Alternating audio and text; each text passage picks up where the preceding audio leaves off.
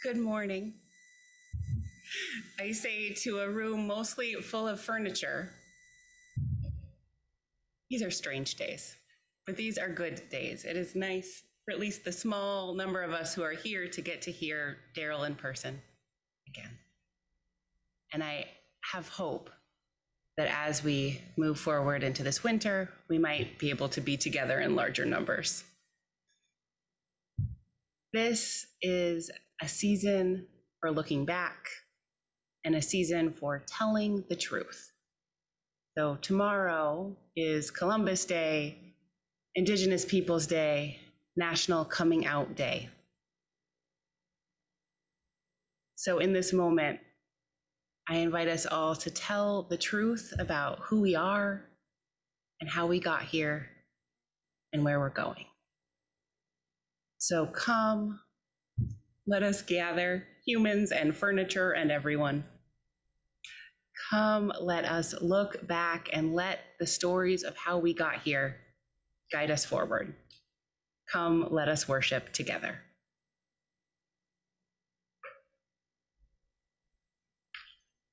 I'm Chris Meseroche, and I'm uh, part of the Sunday Service uh, Committee. And uh, I always see my job these Sundays as trying to make things go as smoothly as possible. And so all this dangerous furniture here just makes me nervous. But uh, uh, I want to welcome everybody here who's in person. I would like to welcome everybody here who is online. If this is your first time coming, please um, uh, email or uh, call the church, get to know us. That's kind of probably the best way to reach out and to learn about our community. Stay on afterwards for the uh, the coffee half an hour and uh, get to know us uh, individually that way. And um, I would just like to say uh, welcome to everybody and um, yeah, welcome to our great service.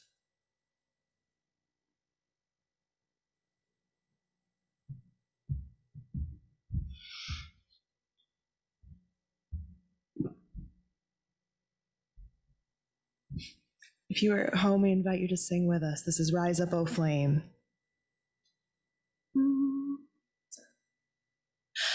Rise up, O flame, by thy light glowing, show to us beauty, vision, and joy. Rise up, O flame, by thy light glowing, show to us beauty, vision, and joy. Rise up, O flame, by thy light glowing, show to us beauty, vision,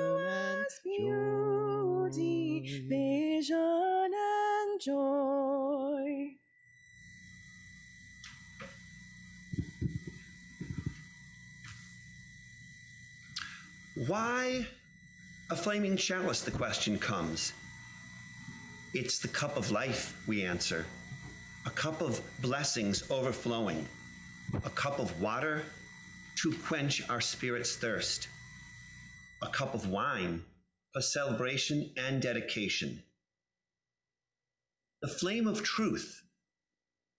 The fire of pur- pur- purification. Oil for anointing, healing. Out of chaos, fear, and horror, thus was the symbol crafted a generation ago. So it may be for us in these days of uncertainty, sorrow, and rage, and a light to warm our souls and guide us home.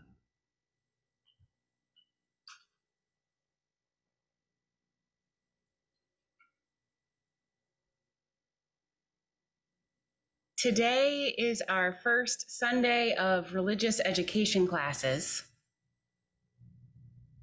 And traditionally, we would invite all of our teachers to stand on the steps and we would celebrate them. And because of these days, we cannot. Our teachers are already out teaching outside to our children under 12 who are too young to be vaccinated, or inside to our older children who are vaccinated.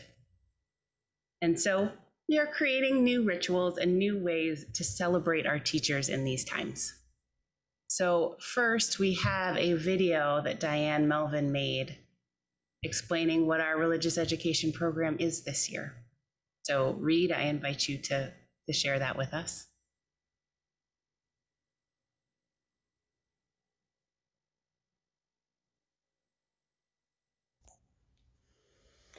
Hello. I'm so excited that we get to offer some gratitude for all of our religious education volunteers. At this time, I'm super excited that we are finally having our first in person religious education class in a year and a half. Uh, outdoors and masked. We're hoping to mitigate uh, safety and be able to have connection. And it would not be possible if, without all of the volunteers that make it happen. Our preschool volunteers are doing a natural wonders curriculum with our youngest kids. And we've got our Keepers of the Earth volunteers leading our first through sixth graders with outside environmental activities and connecting with nature on our beautiful grounds. We've got our OWL class for middle school um, taking place with 15 youth and our high school volunteers teaching our high school class. We are so fortunate that these folks are willing to um, add additional responsibilities on top of their work and their families and their other responsibilities to serve our congregation uh, by dedicating time to our children and our youth. Um, and these most unusual times, um, we, instead of giving them a big round of applause, we are going to offer them gratitude through a word Menti cloud. So I'm thankful that we can find new, unique, and creative ways to connect and to say thank you to those people that have given so much of their time. Um, I don't want to forget the RE committee who has uh, done an enormous amount of work this summer to get ready for RE to start this fall. So thank you to everyone. Thank you to this congregation. And um, I look forward to seeing all the words that you put into your Menti Cloud to thank our RE volunteers. Thanks.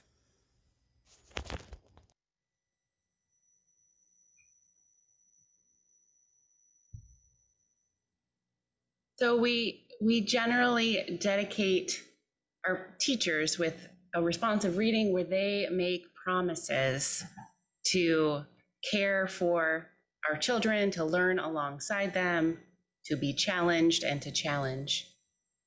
And today, we are just going to offer them blessings. They are not here to make promises. So I believe we Reed is going to share a word cloud to those of you who are with us on Zoom. And those of you who are here in person, if you have have a device on you, you can go to the website www.menti, M-E-N-T-I.com and type in the code 76738691 um, and type in a word or two of blessing. And if you are on Zoom, you can type that into the chat and we will make it there. If you're one of the few who are here in person and don't want to bother with the phone, um, you can you can just tell me the word and we will gather up all of these these blessings on our teachers as they try this new big kind of wild thing of being entirely outside um, and make sure they they receive them from all of you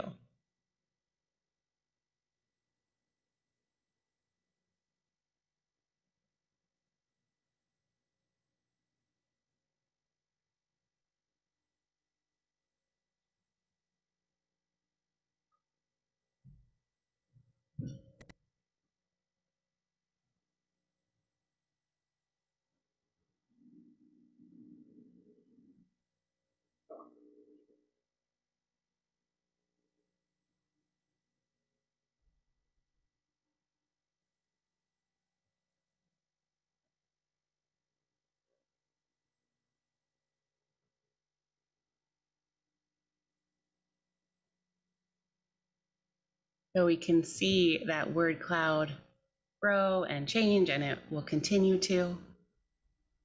Um, we can see things come in on the chat, and we will pass along all of this care and support to our teachers. People's people are generous people. You are generous in so many ways in, in volunteering to make our religious education happen and sharing your gifts of music with the congregation. And I think your generosity is on very clear display in the Commons right now, which is full of things donated to help our soon to be Afghan neighbors make a home and make a life here. So our our few number of people who are here in person are, I think, all sitting on donated furniture that will soon be in someone else's house. And in addition to gathering up furniture and other other goods, the Sunday or the Social Justice Committee has invited People's People to give financially to support the work of Samaritas and Bethany Christian Services as as they make a way for our soon to be neighbors, for people who who supported our country's efforts in Afghanistan and who are no longer safe remain there. So now I would like to introduce Afifa Thaj from Samaritas, who will talk to us for a few minutes about their good and important work. I invite you all to give as generously as you are able.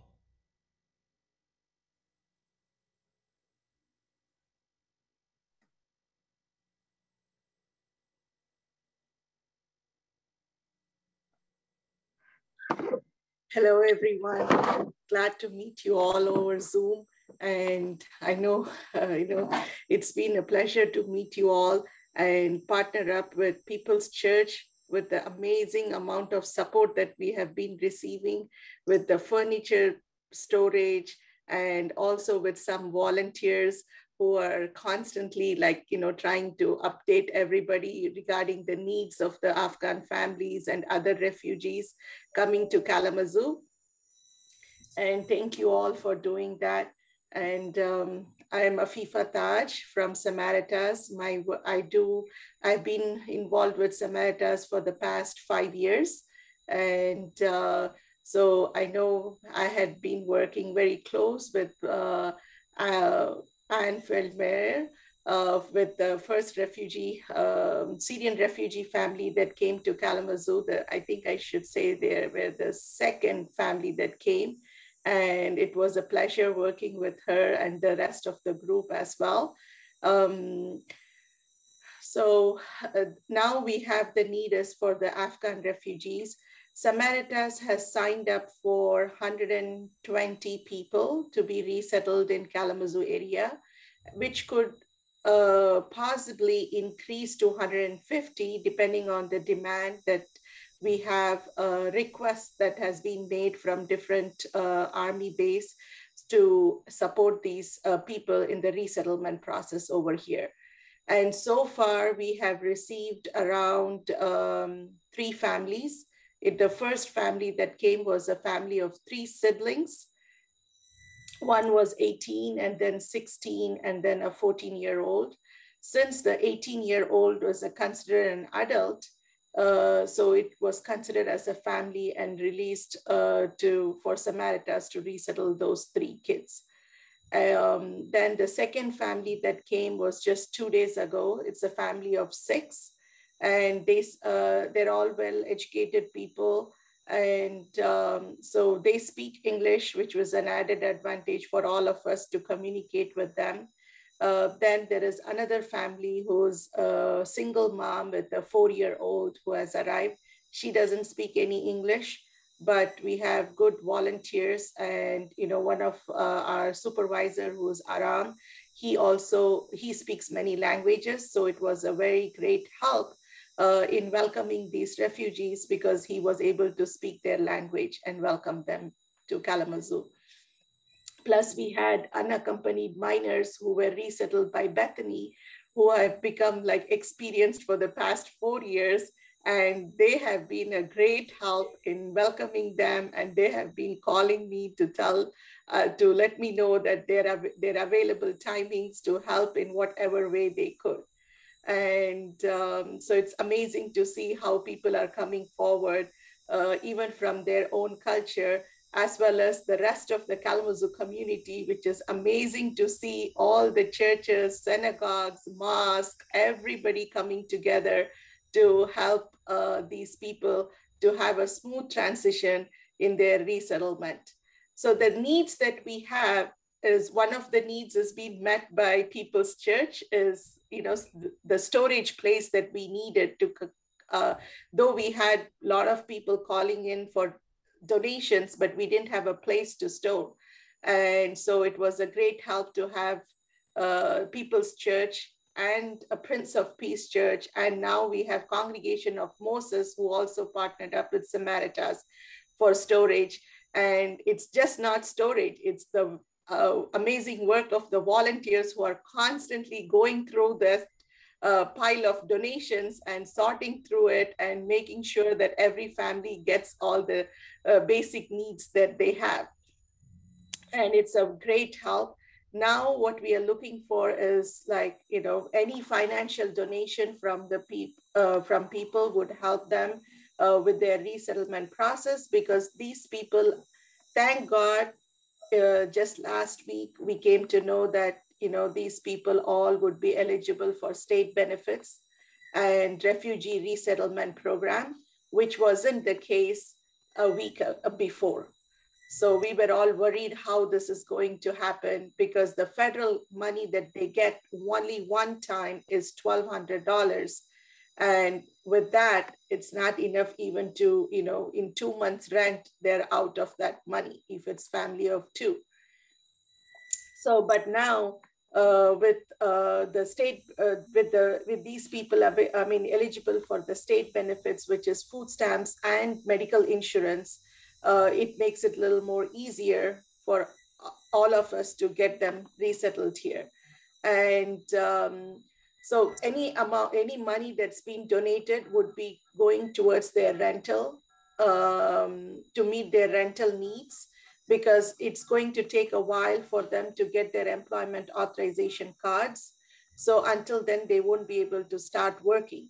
So, you know, we are always looking for leads for uh, house renting the houses, renting apartments, and um, and also small groups that could help with their transition being a school liaison, being a grocery shopper with them, since they don't have transportation to go to medical appointments, um, then uh, uh just a person to socialize with them because they don't know where the parks are when they have kids, where to take them. Uh, just uh, so uh, being a social friend would help a lot more in getting them acclimated to the US culture.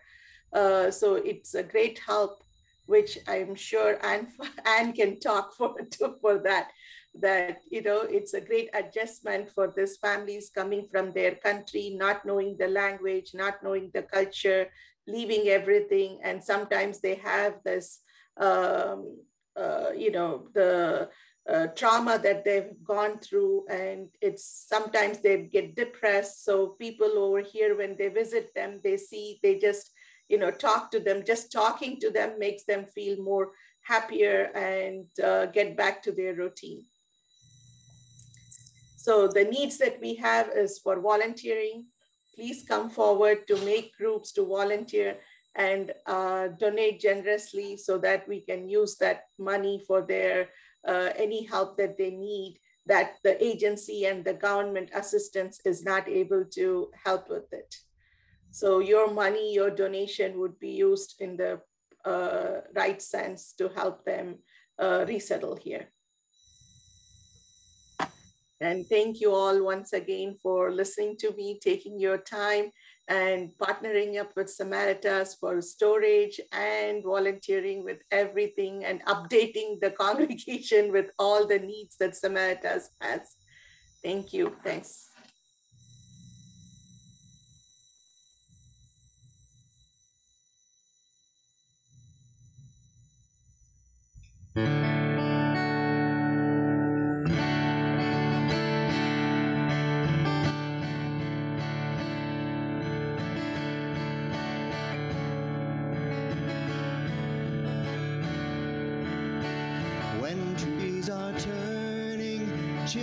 Smoke is curling,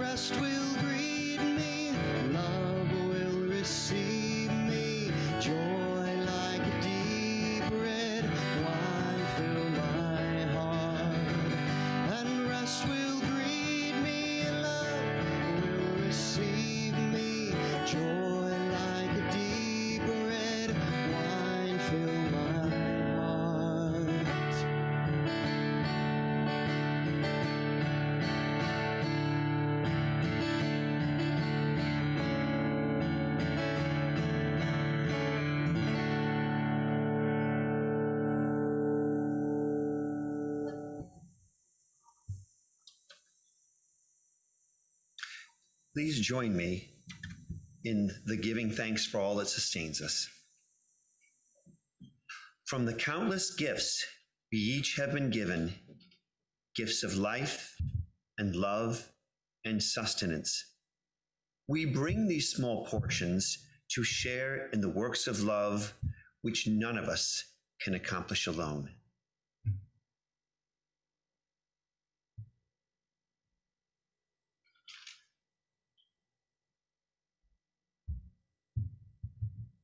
People's Church is a community that supports one another in good times and hard times and all the times. One of the ways that we do that is by taking time during our service to share the joys and sorrows and milestones of our lives with one another. So if you have a joy, a sorrow, another milestone you'd like to share, I invite you to share it. If you are on Zoom, that means typing it into the chat box. If you are here, you can come and speak into our microphone. And um, and if you have something in your heart that you don't is too precious to to name out loud today, I invite you to place a stone or ask for a stone, and we will put a stone into our bowl of water for you. And I will pause our recording as well.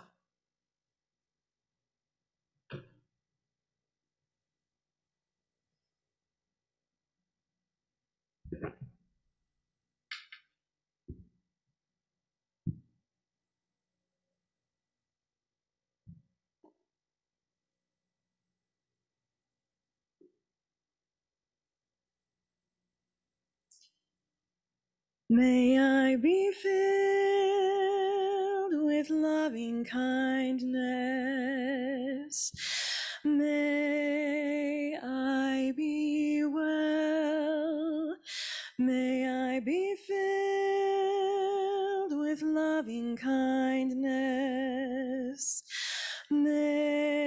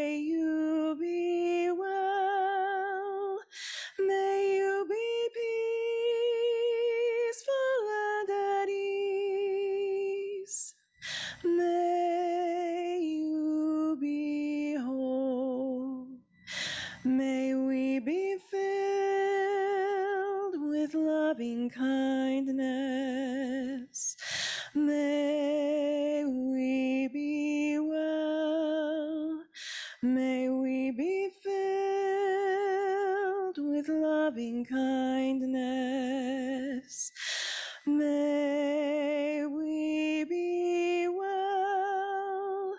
May we be peaceful and at ease. May we be whole.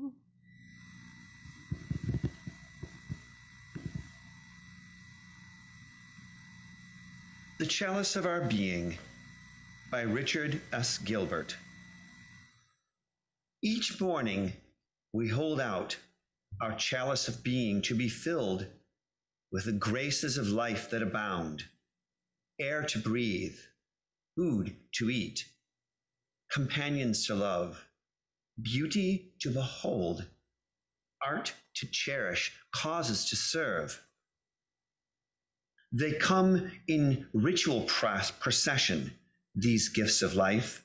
Whether we deserve them, we cannot know or say, but they are poured out for us.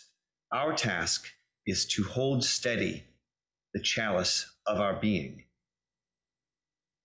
We carry the chalice with us as we go, either meandering aimlessly or with destination in our eye. We share its abundance if we have any sense, reminding others as we remind ourselves of the contents of the chalice we don't deserve. Water from living streams fill it. If only we hold it out faithfully. We give back if we can something of ourselves, some love, some beauty, some grace, some gift.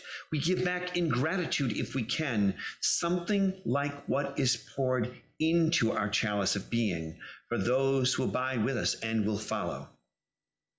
Each morning, we hold out the chalice of our being to receive, to carry, to give back. Spilling the Light by Theresa Inés Soto. Some people are used to keeping rules. Don't cross the streets when the light is red, only sensible. It turns out that keeping rules isn't the same as keeping covenant, which asks us instead of keeping a bright line to keep our promises. To what have we promised ourselves? To this moment in time and peace, to this community, and even tenderly interconnected this planet. We promise ourselves to the idea that we are each and all human beings. We promise that there is something moving between us that we cannot tame and cannot measure. The chalice is a reminder that what flame we keep inside us cannot light the way. The light must spill to shine. The thing you must be is yourself, unadulterated, shedding the willingness to journey alone as though you are made of something hard and unforgivable. You are only human. You belong right here, right now. And together we will chase away the sickness, the secrets, and leave only the open possibilities that the future is a space for growth. And together we chase away the sickness, the secrets, and leave only the open possibility that the future is a space for growth.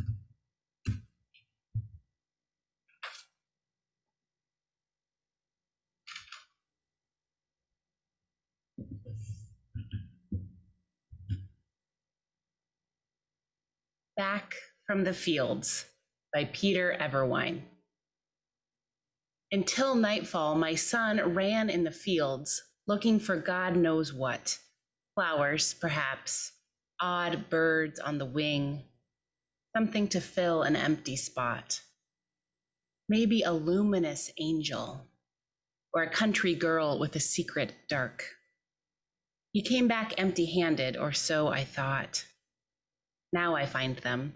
Thistles, goat heads, the barbed weeds, all those with hooks or horns, the snaggle toothed, the grinning ones, those wearing lantern jaws, old ones in beards, leapers in silk leggings, the multiple pocked moons and spiny satellites, all those with juices and saps like the fingers of thieves, nation after nation of grasses that dig in, that burrow, that hug winds and grab handholds in whatever lean place. It's been a good day.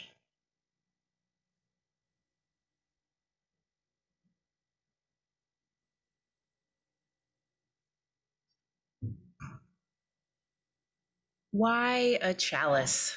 The question comes. Why do we begin so many of our gatherings, worship, classes, meetings, and more with the ritual of lighting a flaming chalice inside, or flame inside a chalice? How did this become the symbol of Unitarian Universalism? It's a long story. Settle in. It's also a story that I've told before. So some of my words today are borrowed from a sermon I preached about five and a half years ago. But the scholarship has evolved, and I don't expect anybody to remember what I preached five and a half years ago, if you were even part of our community then. So today we'll be journeying through time as I tell you the history of the chalice. So let's climb in our time machine and set the dial for the early years of the 15th century for our first stop.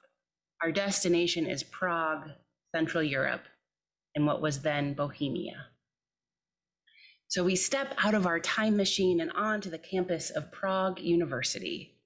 We wander into a lecture hall, and the lecturer is Jan Hus, a Catholic priest and the dean of the philosophy faculty. He was speaking about his ideas for reforming the church. So, this was before the Reformation. So, the Roman Catholic Church was the primary church in Western Europe. And Father Hus thought the church, his church, should be doing things differently. Somehow, Hus had come across a banned book and incorporated many of its ideas. This was before the printing press, and so banned books were precious and rare and had to be hand copied for the most part. So Hus read this book and called the church to reform. He believed that the Mass, the religious service, should be said in Czech, the language that the people who were attending Mass should could understand, rather than Latin. He also believed that the congregation should eat the bread and drink from the chalice full of wine during the communion ritual. Remember that? The chalice is part of communion. At that point, only the priest drank the wine. He opposed religious wars and the selling of indulgences to pay for them. Indulgences in Catholic practice are a way to reduce the punishment for sins. Indulgences can include saying prayers and performing acts of service. service. And in the era of Hus, indulgences healed corruption because the rich could buy them and purchase their way out of punishment and purgatory in the afterlife. Selling indulgences enriched the church. And this practice angered many of the earliest reformers of the church, including Jan Hus and Martin Luther. So perhaps Hus was attacking one of these practices in the lecture we hear. And when we leave the university and speak to others, because we all can speak Czech at this point in our story, we learn that Hus is wildly popular among his people. His proposed reforms unite Czechs across class differences and other divisions and add to a growing nationalist movement there. And the chalice became the symbol of those who supported Hus. It wasn't a chalice with a flame like we have, just a chalice, the chalice that held the wine that Hus thought the people should drink, not just the priests. And those of you who know anything about the history of religious dissent in the, can guess the story of Jan Hus does not end well. In 1413, a church council ordered his writings be burned. The following year, he was imprisoned and tried for heresy. And he told his accusers that he would recant his beliefs if they could show him proof in the Bible that his beliefs were wrong. And they did not engage that line of argument. He died for his beliefs. He was burned at the stake in 1415. Eventually, though, Hus won the argument. About 50 years after his death, the church reinstated the practice of the laity drinking from the chalice of wine during communion. A century after that, the church abolished the selling of indulgences, and the Roman Catholic Church started saying Mass in the local language in the 1960s. He was just 500 years early. So now we're stepping back into our time machine to jump centuries into the future. We speed across time and we see Hus, Hus's legacy unfold and fast forward before us. We see that Hus, Hus's martyrdom led his followers to form their own church, known as the Hussites or the Chalice people. They were among the first Protestants before Protestants was a thing that people could be. It was before that word had been invented. But these Chalice people opposed violence, political repression, the death penalty. They refused to be conscripted into the military.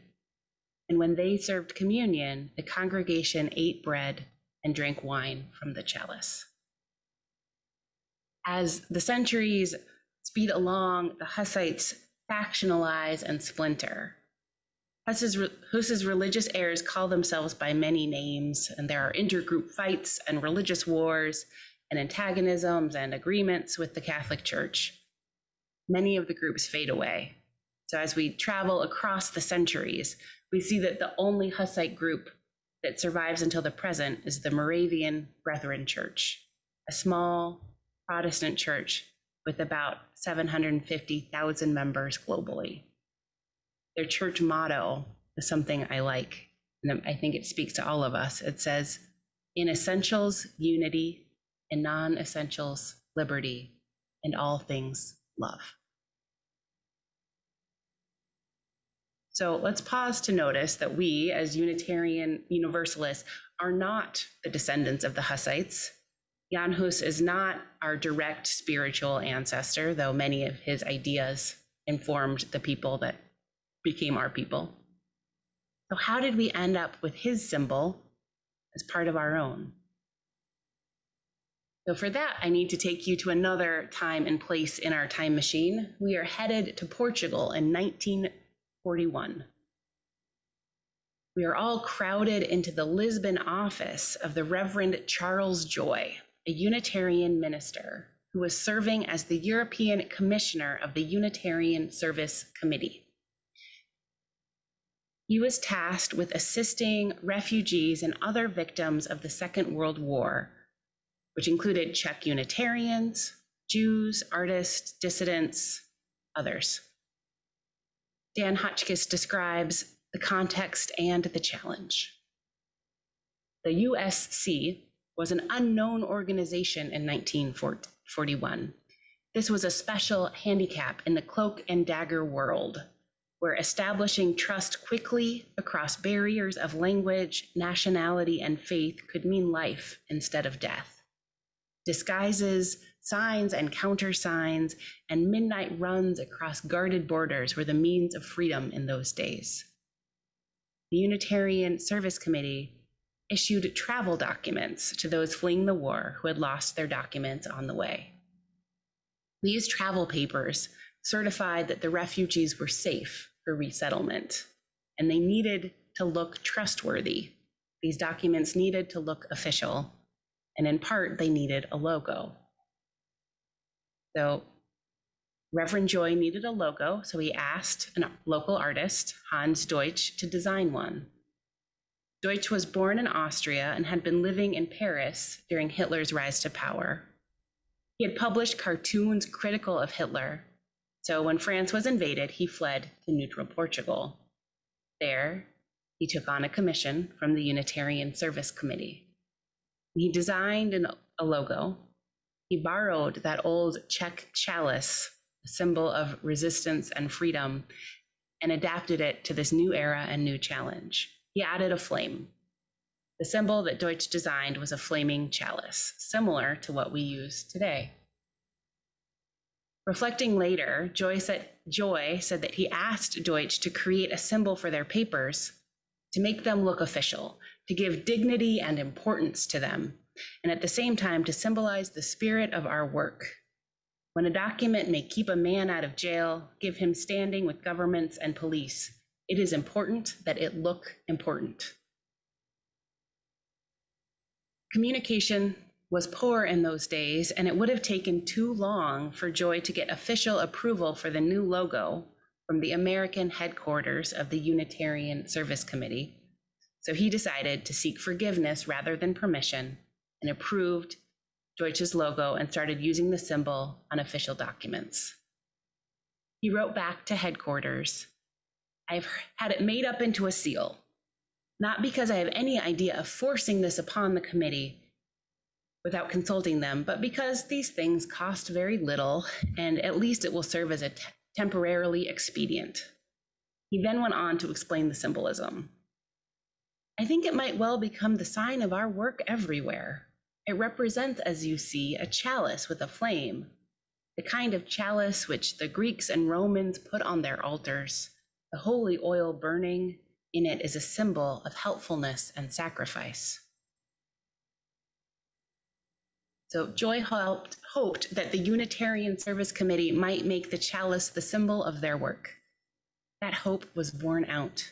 The flaming chalice logo became first a symbol of the Unitarian Service Committee, and then, after the Unitarians and the Universalists became one association, the Unitarian Universalist Association.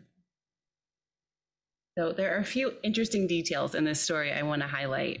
First is that Deutsch, the man who gave us our flaming chalice, was not a Unitarian.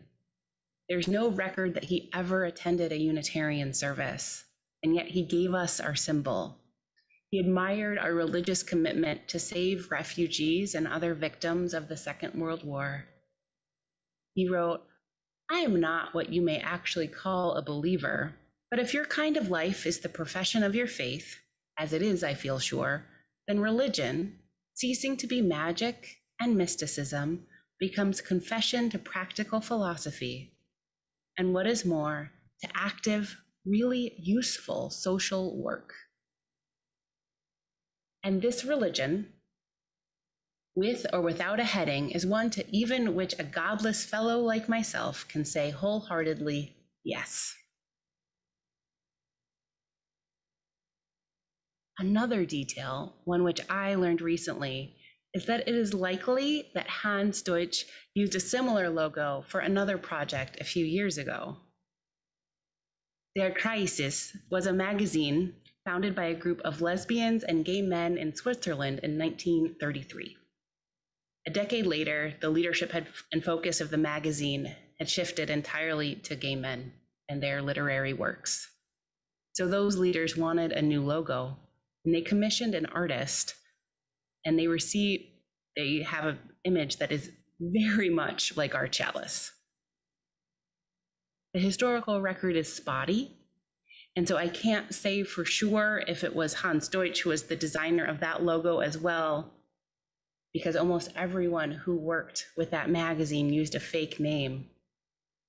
But the timing and Deutsch's social connections make many UU historians who've looked into this much closer than I have believe it to be true.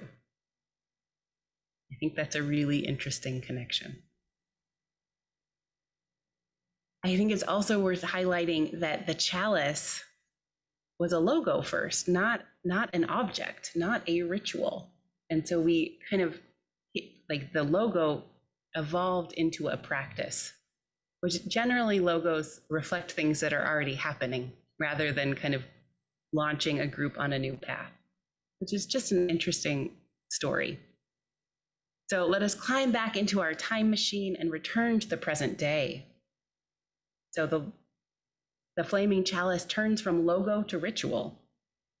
The Unitarian Service Committee, then later the Unitarian Universalist Service Committee, had the chalice logo for decades before kindling a chalice flame became something people do in worship, became a standard ritual at the beginning of so much of what we do.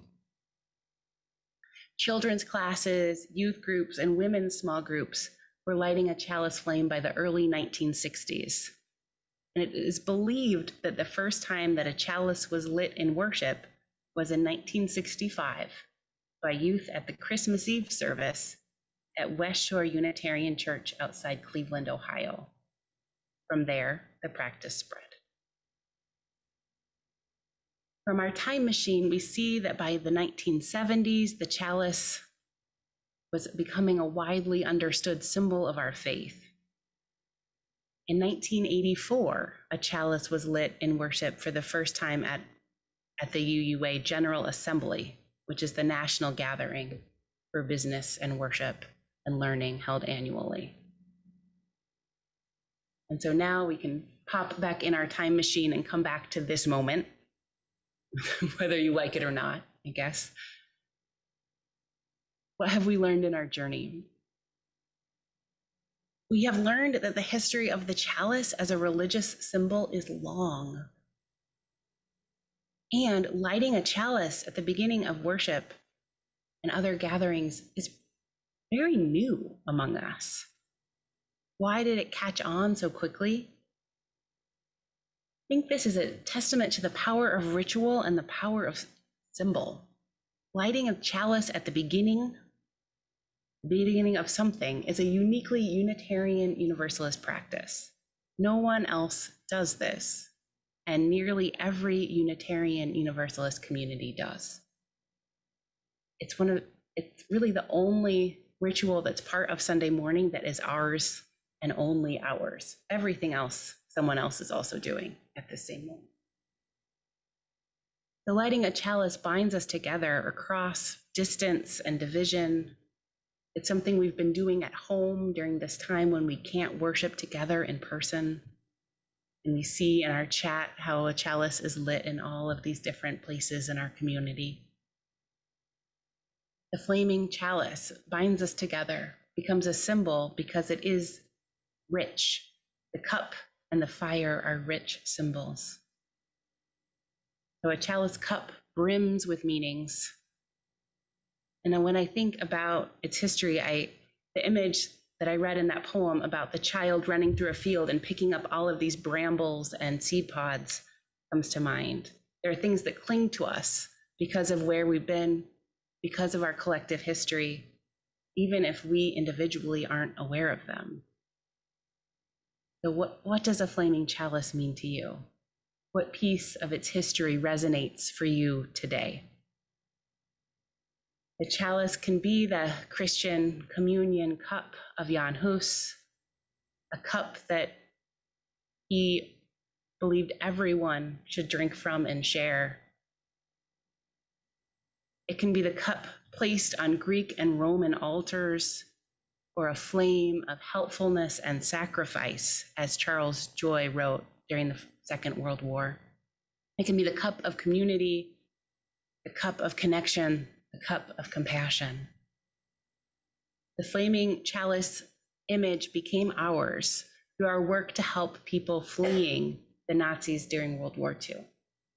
That history feels especially important to me today as I preach to a room full of things donated to help Afghans resettle here, as we asked you to give money to help our partners in this work.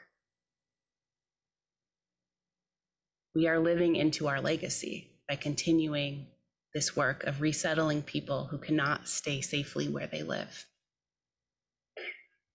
You can also look at the chalice on this pulpit or burning here and see a logo shared with a Swiss magazine from the middle of the last century by and for gay men.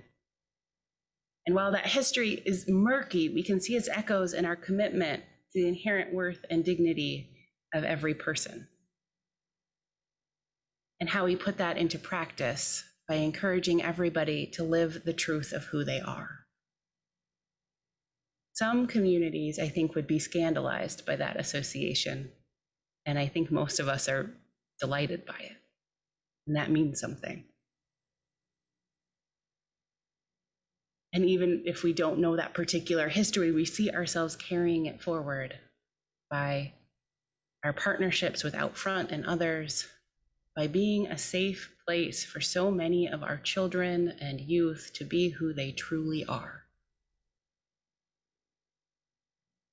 One of the beautiful things about a symbol is that it can mean all of those things and more all at the same time. The chalice cup and flame can hold all anything we wish it to mean almost. And that meaning shifts for us over time and from day to day.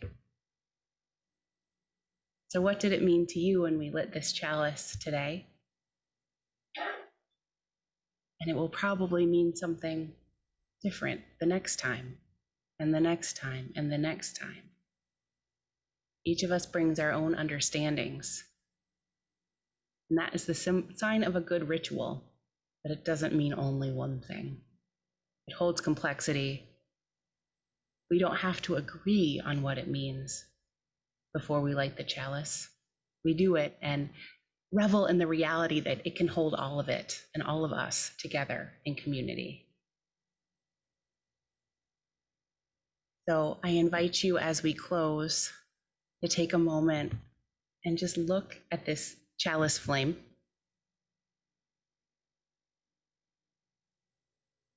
What does it mean today? And what might it grow into meaning as we jump ahead in our time machine and see Unitarian Universalists lighting a chalice decades from now?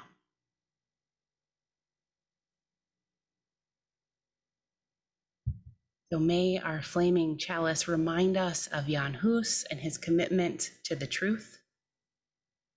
May our flaming chalice renew our commitments to care for people seeking safety then and now. May our flaming chalice re energize us to live our mission to be a church that is a beloved community, embracing and serving our diverse world. May we carry forward our legacy of resistance and compassion.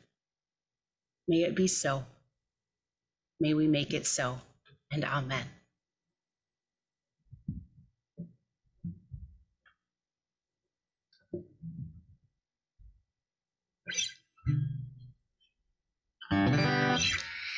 This little light of mine seems appropriate.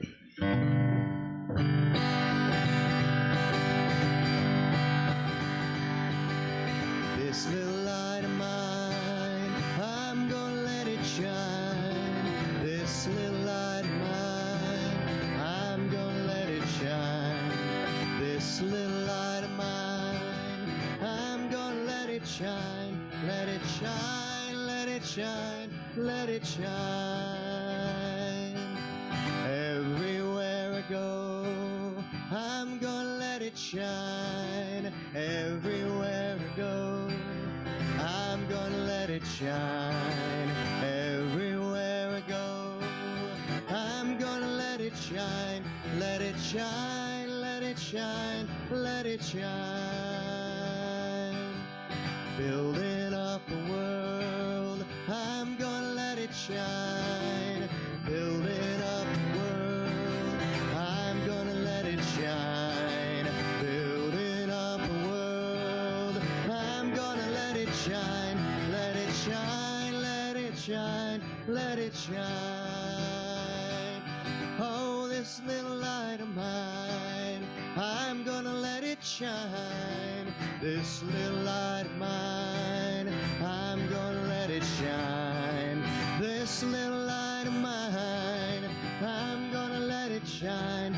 Let it shine, let it shine, let it shine.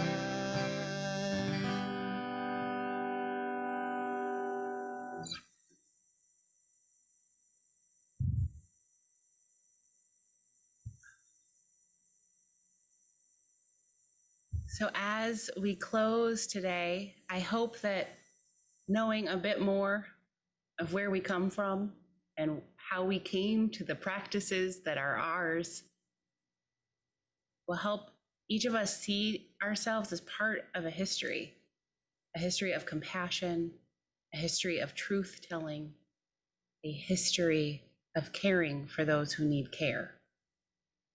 And I invite us to step into that powerful legacy and go out into the world to do the work of love. May we go in peace and go in love.